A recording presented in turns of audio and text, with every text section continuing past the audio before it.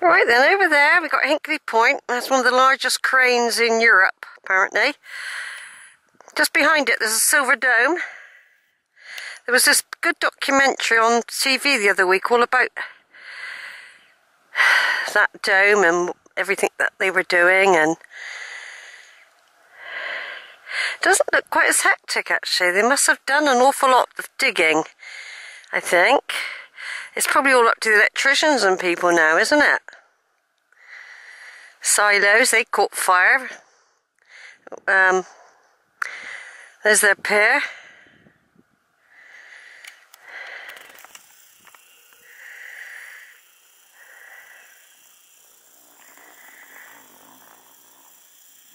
Yeah, it doesn't look quite as hectic. I expect it is.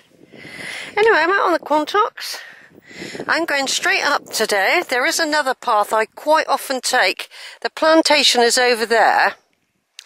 And quite often I take, I think it's called Ladies Walk or something. But today, no, I've decided to come up over the top and get some views from over here. Then head towards Bicknoller Hill and go back down. I'm not going to take any um, unusual diversions today. But I am I, am going to be in a very exposed area. Now, you see that that hill there in front of me. Now you think to yourself, excuse me, when I get up there, that's it. It's not. You'll see another hill after that. It's very deceiving actually when you're out here. I do like the other walk, but I do like to take that much more leisurely.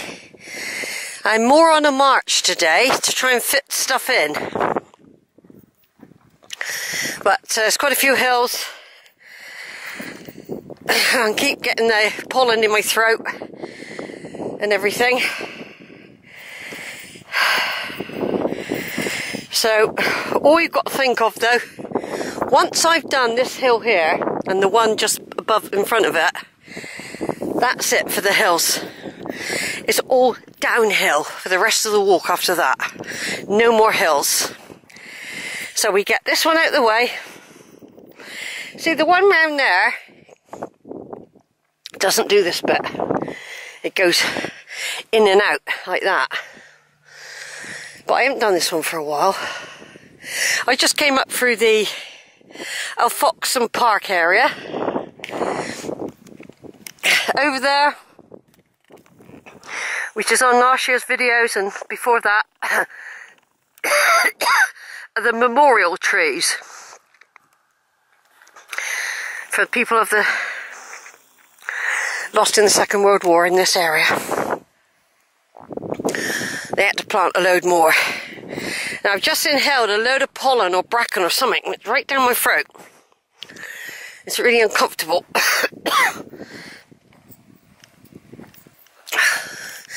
I just do a little bit up here just to show you that I do do hills. It's not made up, I actually do these things. You've always got your skeptics. Oh, Sheila, she just talks a lot of mumbo jumbo. I'm sorry, I actually do this. I actually do this. Let's just have a look over there. Is that the trig point over there? No, it might be higher up actually.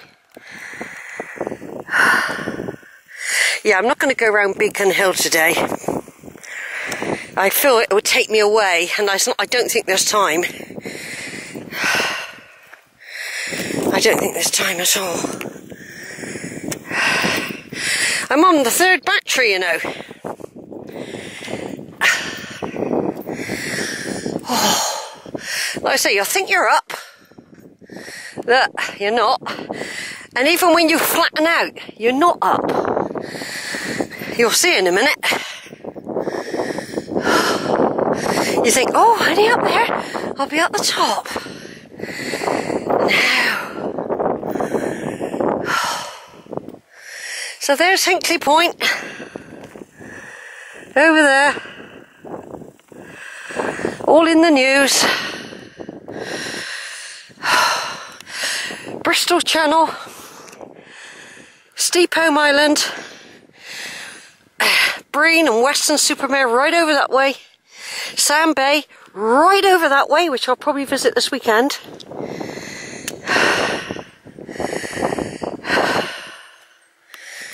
Right then, over and out. Right folks, another little video. Nice friendly people just walked by, said hi, and they're really sort of smiley and happy looking. Here's my beautiful Quantock Hills, everyone. Here it is. Here's my beautiful Quantock Hills. This is a much done. I've done the worst of it now. I've done the worst of it, folks. And uh, all my coombs are down there. I walked down through the coombs earlier today, and uh, I didn't do my usual slow meander. Two reasons. One, I'm, I'm confined to time by buses and trains. Um, the other is uh, I didn't need to do the. I didn't feel I needed to sort of just lurk about. I just wanted to be able to walk through there and feel the beauty and, and, and know that I felt a part of the place. And know that my spirit of my sister will be up in these hills. Very much so.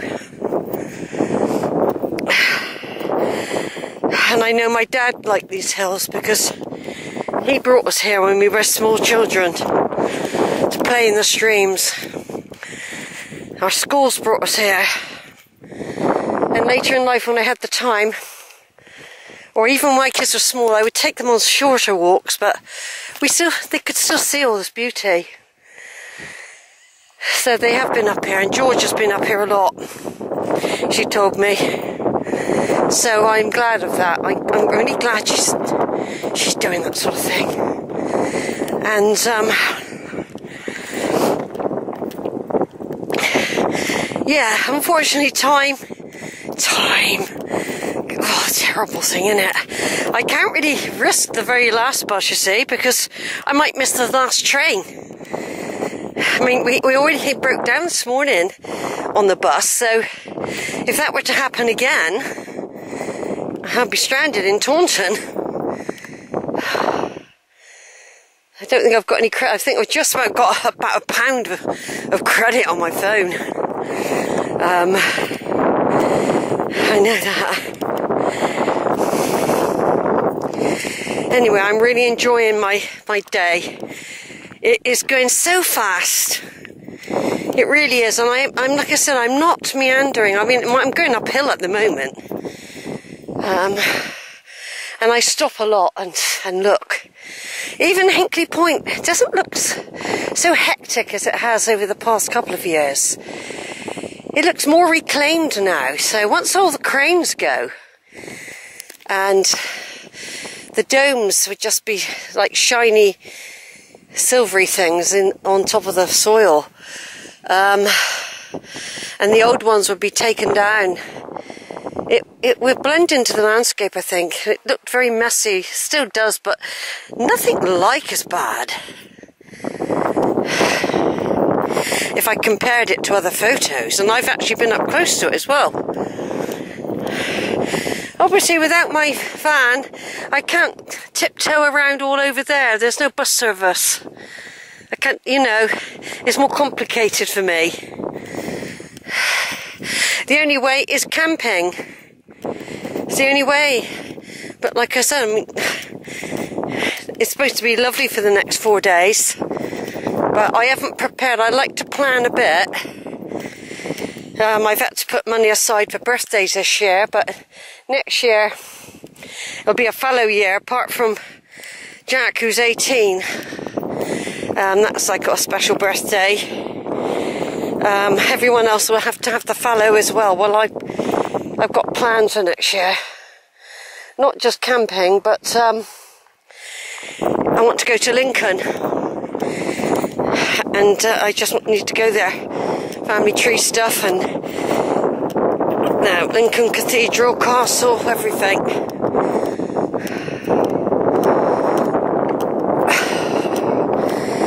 Right, so we're nearly at the top. If this little video can just hang on.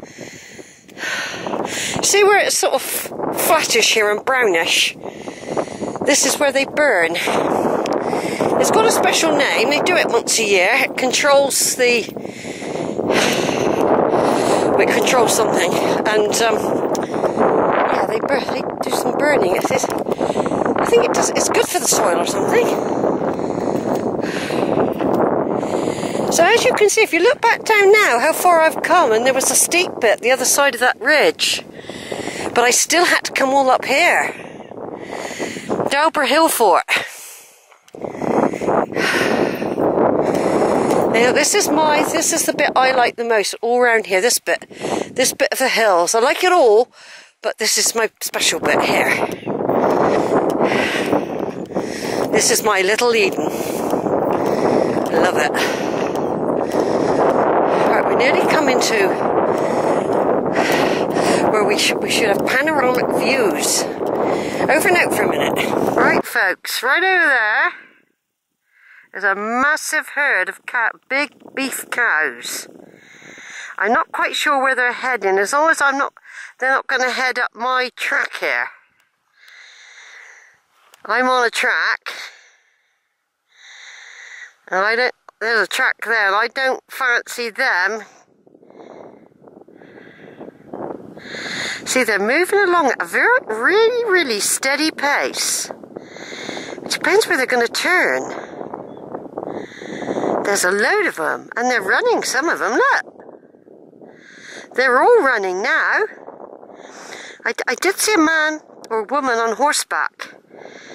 Whether that's the... Depends where they're coming. Imagine if I decide to go on that track and they start coming this way. Or I go up here and they start coming up here. It's hard to know where I, where I should go because they're going to be out of my view in a minute. I won't know which turning to take. I don't know if they're going to sort of branch over here.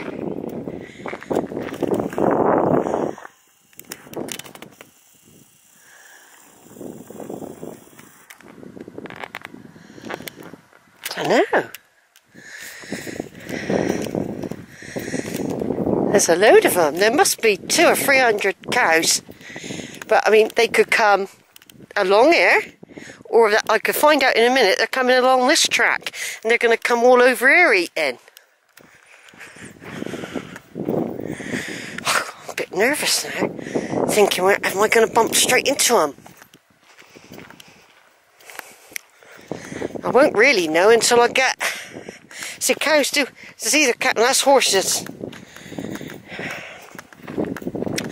They're all out of view now, so which way are they going to go? Are they going to come along this track and start eating here? Big, big herd. Or are they going to go down Weacombe? Very difficult for me to know. They could easily come along here. They do follow tracks.